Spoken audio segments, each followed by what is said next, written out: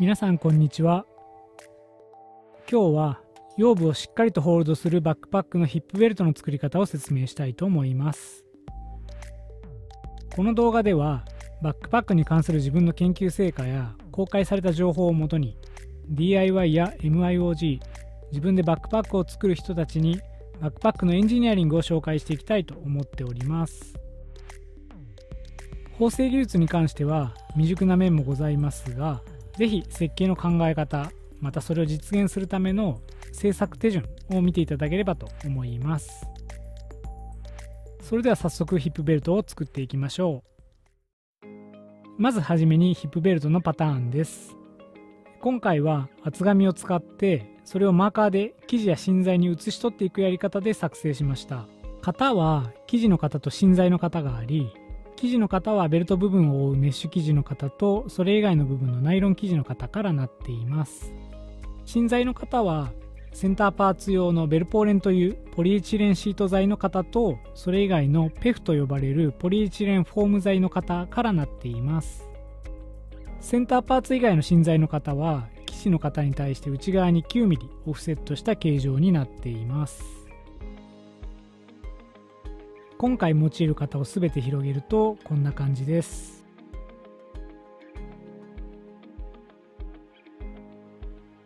バックパック運搬時に肩に大きな荷重がかかると腰椎椎間板に大きな圧縮力が生じこれは腰痛のリスク要因の一つになります。ヒップベルトは骨盤を通じてバックパックの荷重を支えるのに役立ち肩の荷重を減らす働きがあります。そしてヒップベルトとショルダーストラップトップストラップを組み合わせると荷重の移動の効果を強めることができます。ヒップベルトを装着する部位はハイヒップと呼ばれる部位になるんですけれどもその特徴として標準的なハイヒップはテーパー形状になっています。ですのでヒップベルトは直線的な形状と比較して下部のエッジが上部のエッジよりも長い自然なカーブ形状がおすすめです。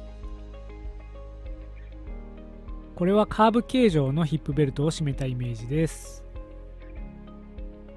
さらに腸骨量はヒップベルトを締める上で重要な部位になります。この突出した部位をヒップベルトで覆うことでバックパックの位置を安定させることができます。この動画では骨盤をしっかり固定するスリット入りの自然なカーブ形状のヒップベルトをおすすめします。そしてこれがスリット入りのカーブ形状のヒップベルトを締めたイメージです。次に生地を裁断していきます。生地はショルダーストラップの動画と同じ210デニールのナイロンオックス生地で裏側に防水の PVC コーティングが施されています。パーツは上下のベルトと先端パーツが表示されている型の向きとそのミラーコピーを2組ずつ作成します。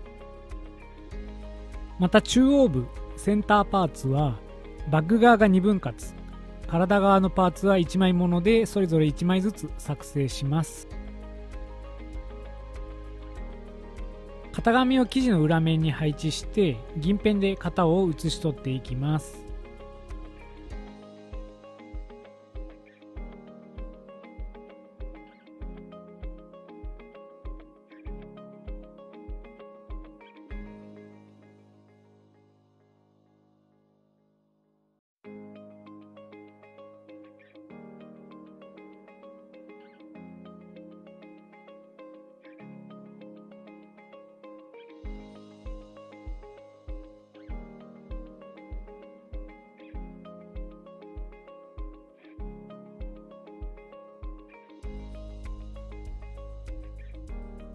そしてトレースした形にパーツを切り出していきます。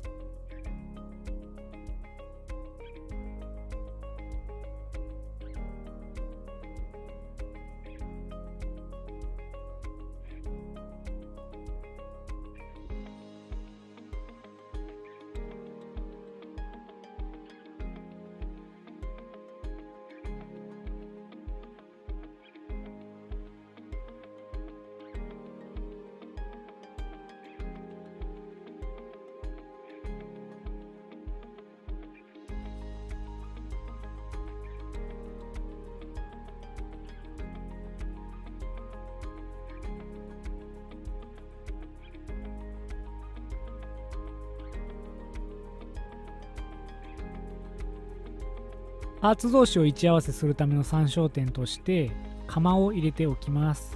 英語だとノッチですね。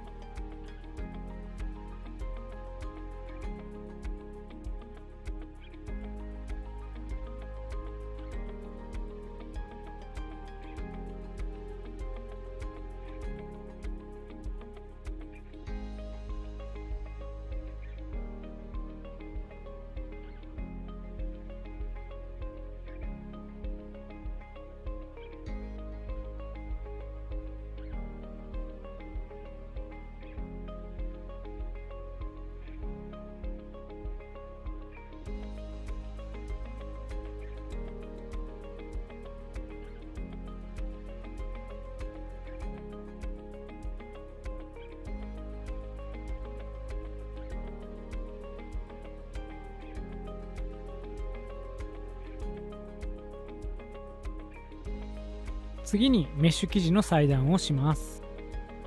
干渉性と通気性のあるポリエステルダブルラッセルメッシュを用います。このメッシュはヒップベルトの当たりをソフトにする目的で用います。こちらも先ほどと同じように裏面に型紙を配置して銀ペンで型を写し取っていきます。表示されている型の向きとそのミラーコピーを1組作成します。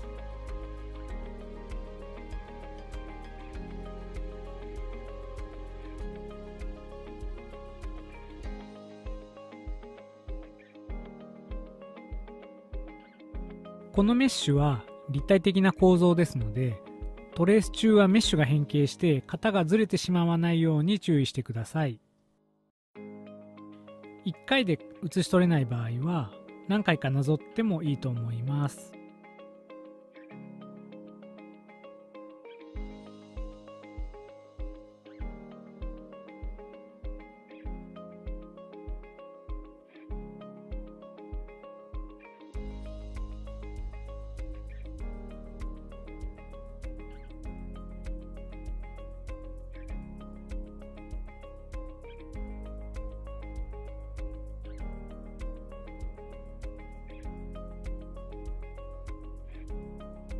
そしてトレースした形にパーツを切り出します。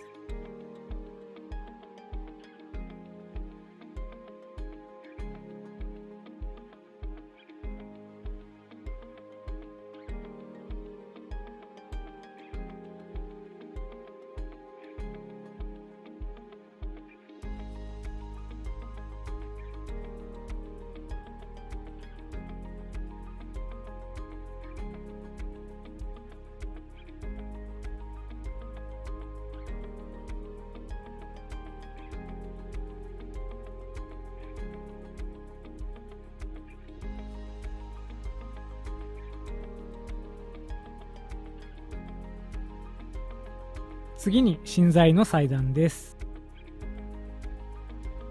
最初にベルト部分の芯材を切り出していきます。今回はペフと呼ばれる 2mm 厚のポリエチレンフォームを用いました。こちらも型紙を配置してマーカーで型を写し取ります。このフォーム材はベルト部分の形を出す目的で用います。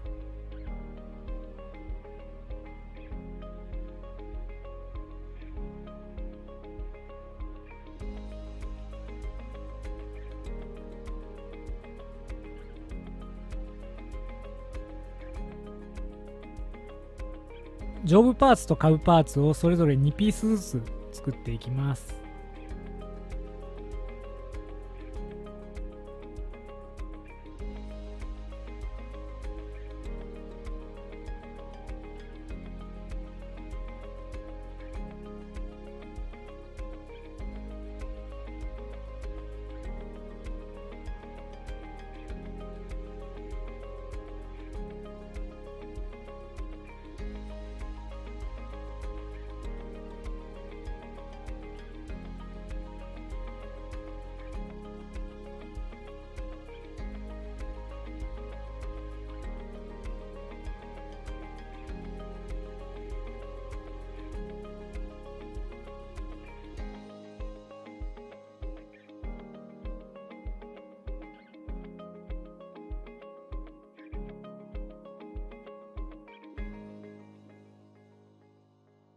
そして次にセンターパーツの芯材を切り出していきます。今回は 1mm 厚のベルポーレンという固めのポリエチレンシート材を用いました。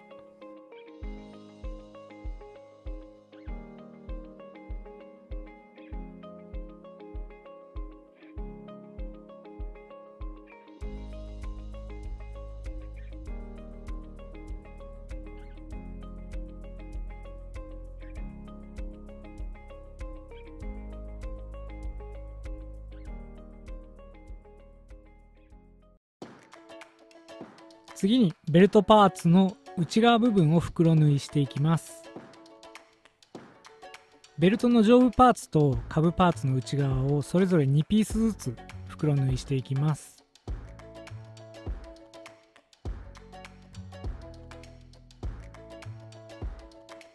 これは上部のベルトパーツです。生地の裏面が外側になるように合わせて内側になるエッジの部分をクリップで挟んで一時的に固定していきます。次に合わせたエッジの部分を縫っていきます。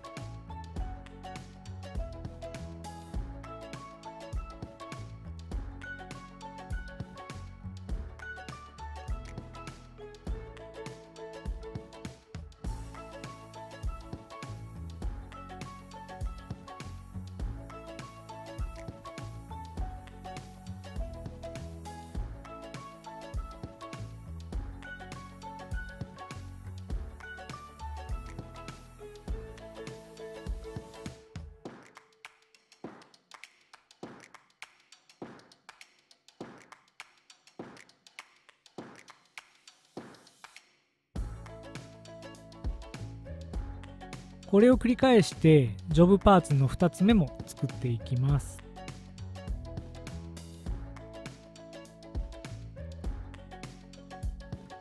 縫い終わったら糸の短部処理をしてほつれ止めをしてやります。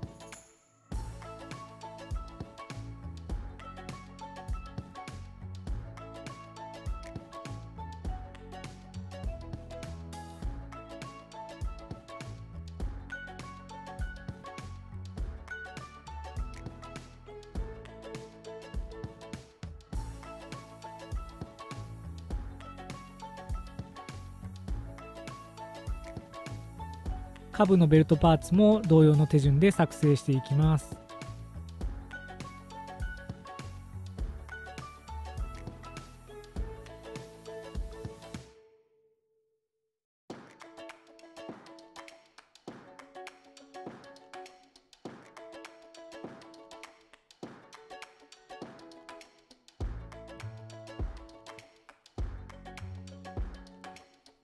次にベルトパーツへパッドを入れていきます。これは上部のベルトパーツです。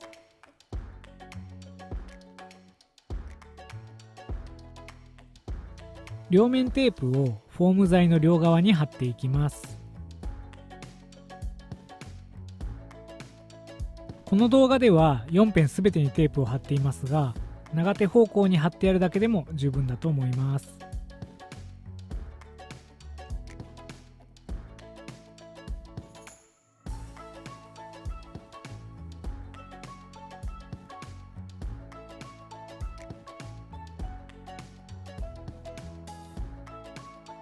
次に先ほど縫ったエッジの両側部分に両面テープを貼っていきます。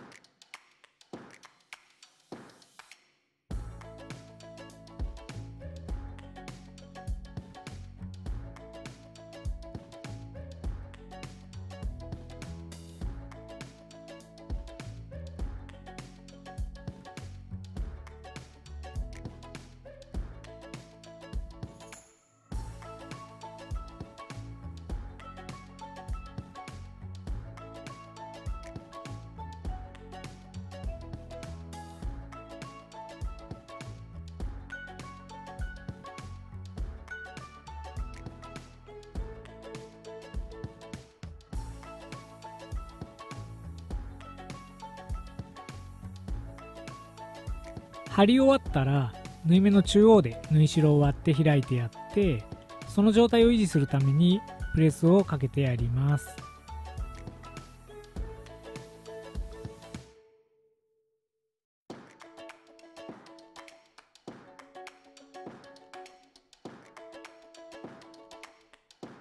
そしてベルトパーツにフォーム材を貼り付けていきます。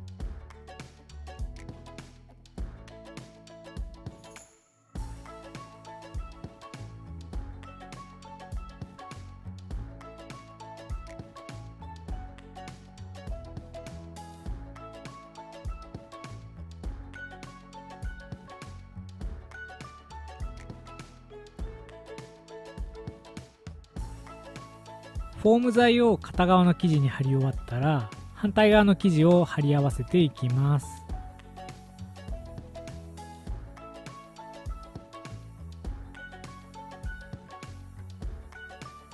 そして全体的にプレスをかけてやってシワを取り除いてやります。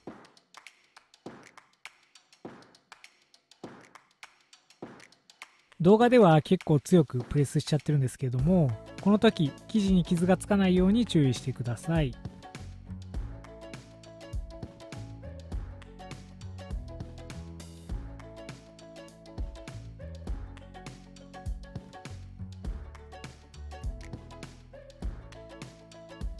最後に端部の余分な部分を落としてやってこの工程は終わりです。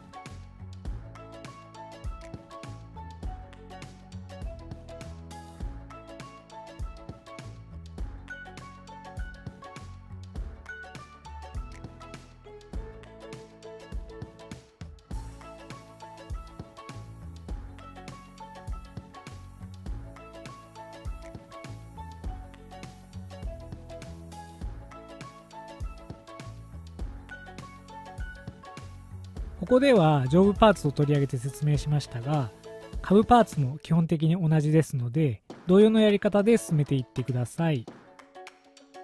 下部パーツの工程を終えた状態はこんな感じです。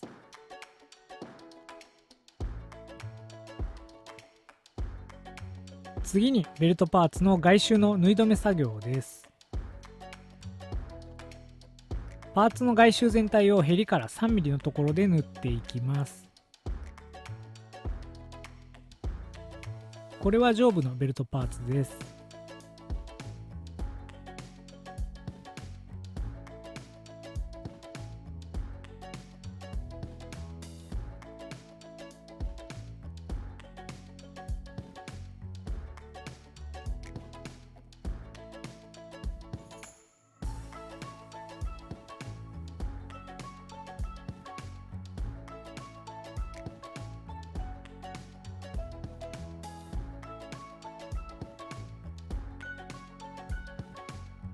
左右の反対側のパーツを縫う際は逆側を上にして縫っていきます。下部のベルトパーツも同様です。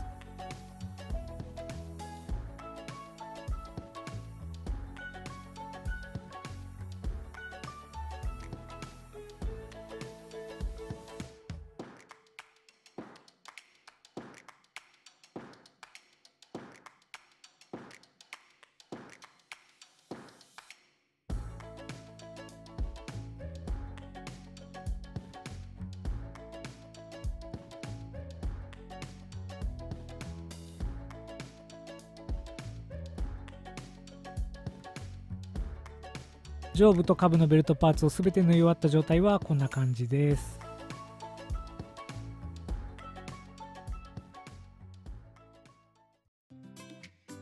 次にベルト先端パーツへのパッド入れ作業です。これは左側の先端パーツです。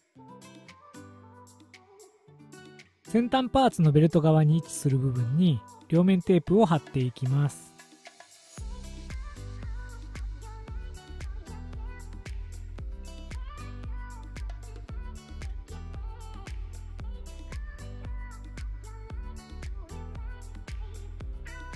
芯材の外周部分にも両面テープを貼っていきます。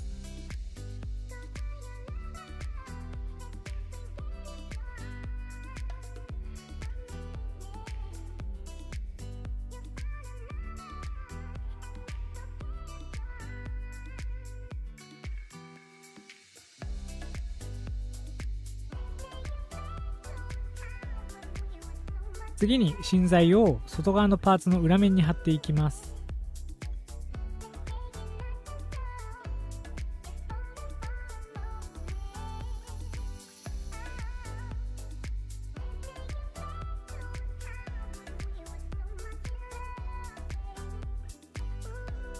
貼り終わったらベルト側の端部を折り返します。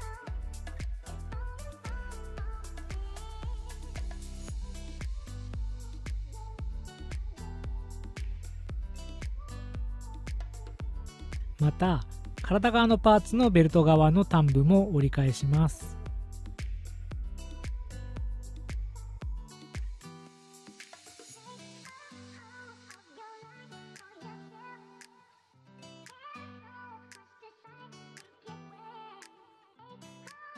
次に体側のパーツの外周部分に両面テープを貼っていきます。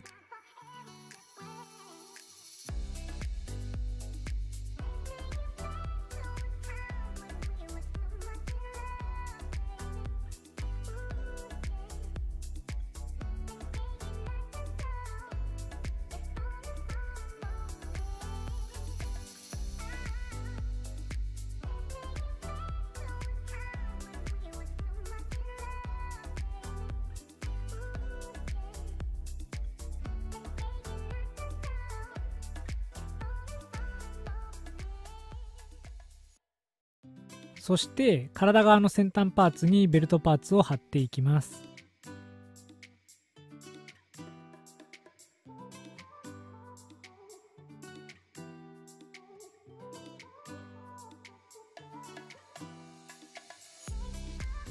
最後に外側のパーツを体側のパーツに貼ってやって終わりです。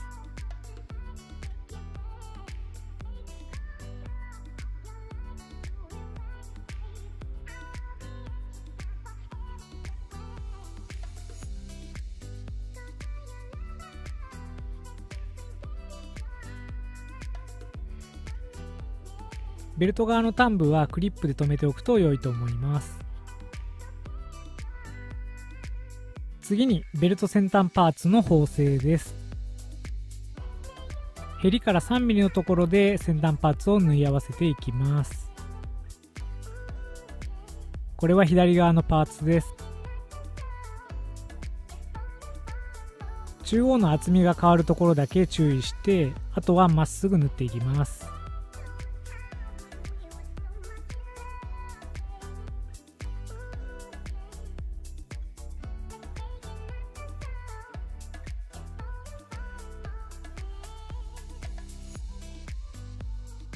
側も同様です。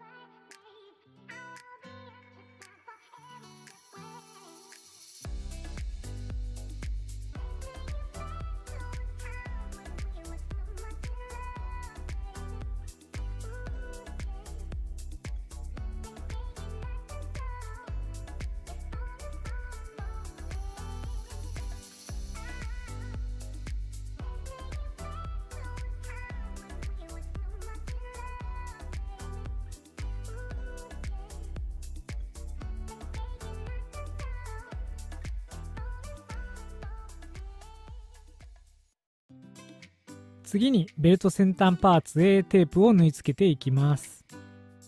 今回は 38mm 幅のポリプロピレンテープを用いました。テープは腰部に固定するのに十分な長さでカットします。ここではとりあえず余裕を見て35センチでカットしました。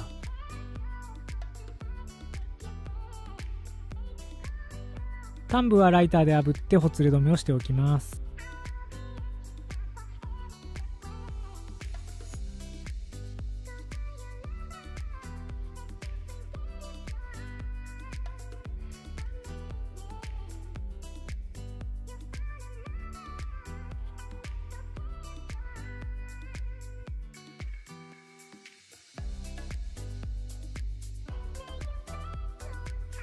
から 15mm のところで折り返して両面テープで留めます。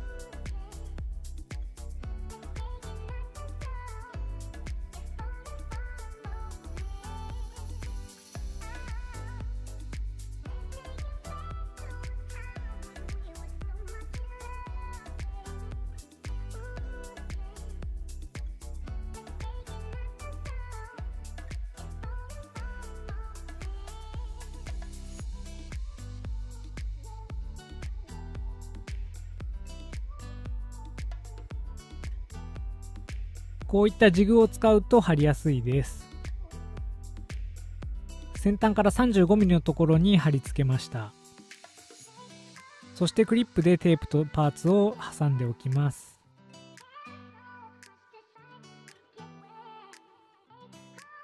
次にテープをベルトパーツに縫っていきます。縫製位置のガイドとしてマスキングテープを貼っています。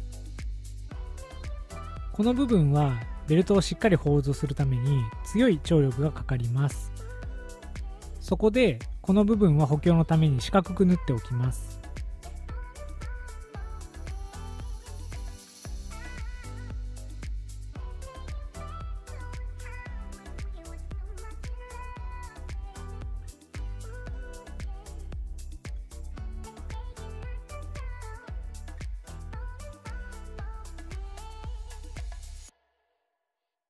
そして糸処理をしてやってこの工程は終わりです。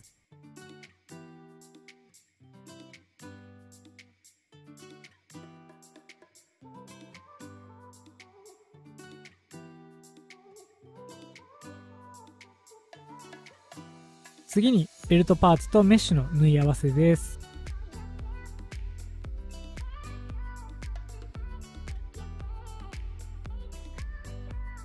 ベルトパーツとメッシュパーツをクリップで挟んでいきます。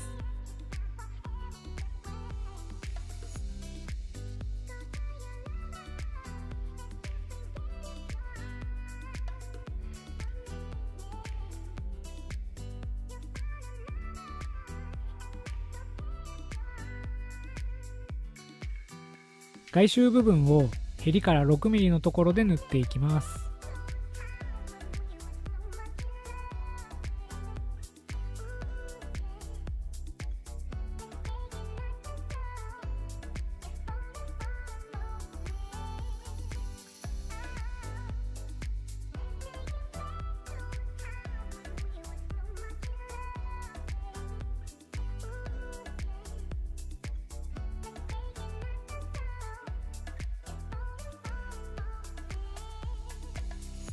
2つのベルトが重なっている部分は気をつけて縫っていってください。この部分は縫っている際に動いてしまいやすいので他の部分とは別にして縫っていきました。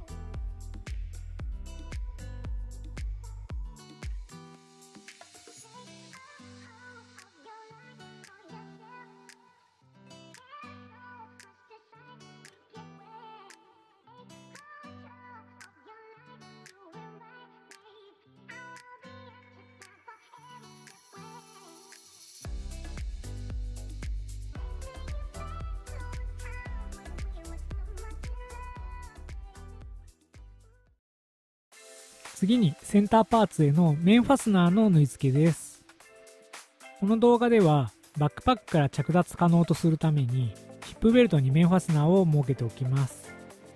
使用したのはメス部材、ループ部材の方でクラレの 20mm のマジックテープを用いました。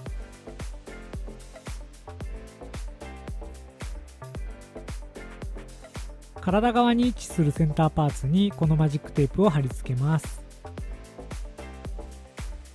次にテープの外周部を縫っていきます。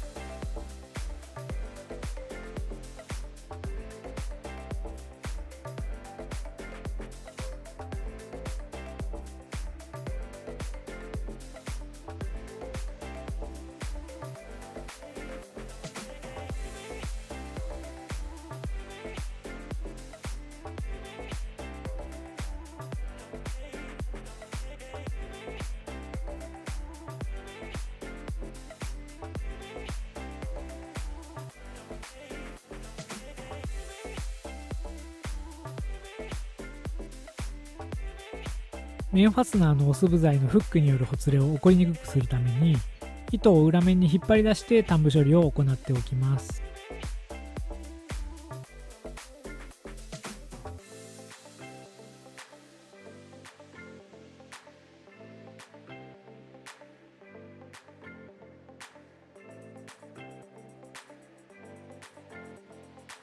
次にベルトパーツとセンターパーツを縫い合わせていきます。センターパーツを両面テープでベルトパーツに取り付けていきます。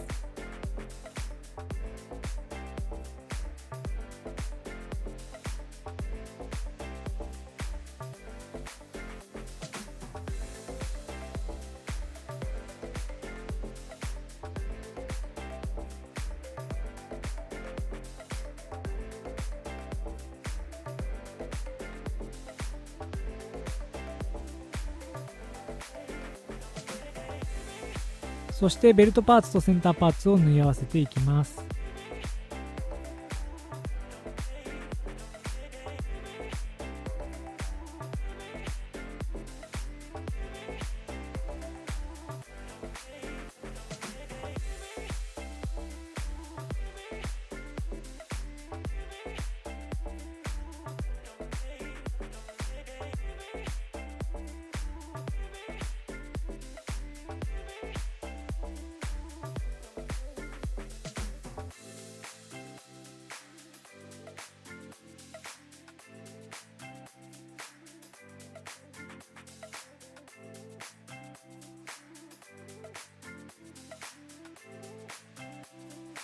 分厚いので注意してください。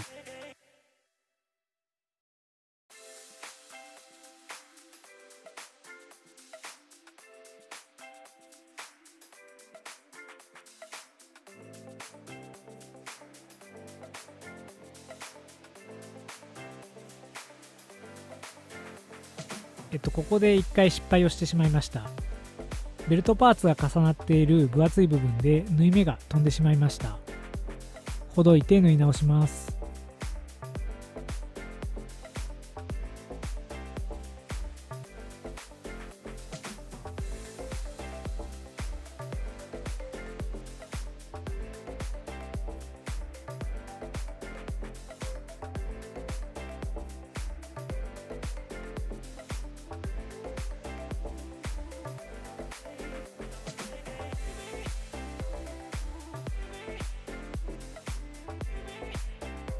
終わったらこんな感じになります。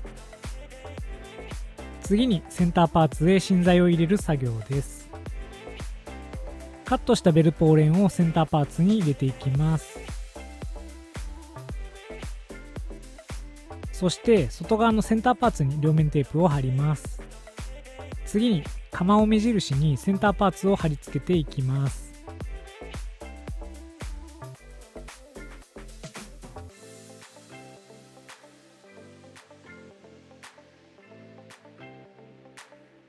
クリップで仮止めしておくと安心です。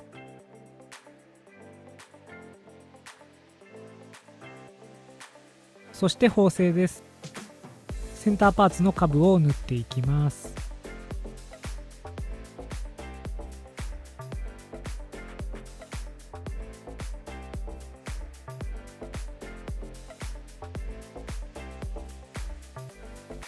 次に上部を縫っていきます。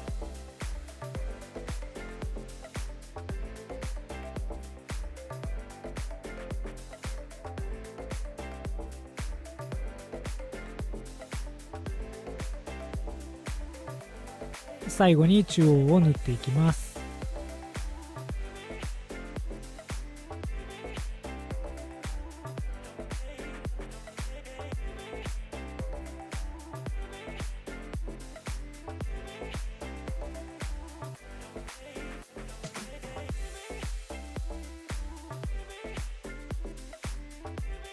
糸処理をしてこの工程は終わりです。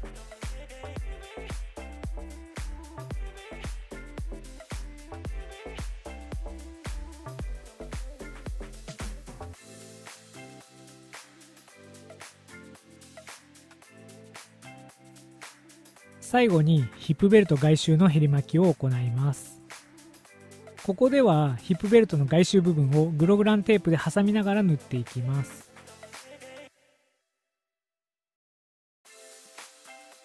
2 0ミリ幅のポリエステル製のグログランテープを用いました。自分は2 0ミリ幅の2つ巻きのラッパを持っていませんので指でテープを折りながら減り巻きを行いました。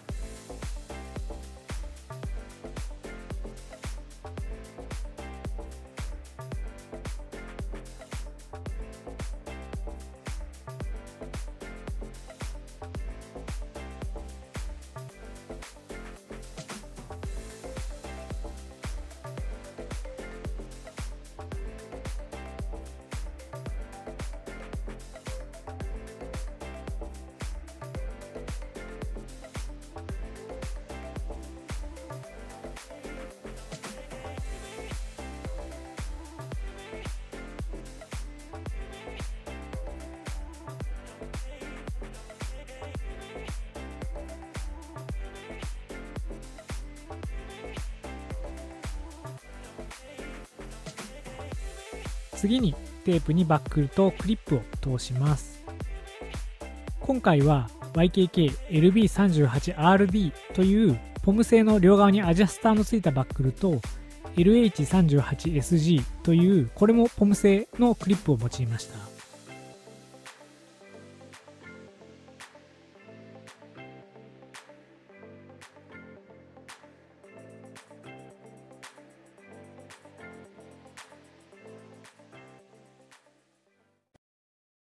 さあ、いよいよ完成です。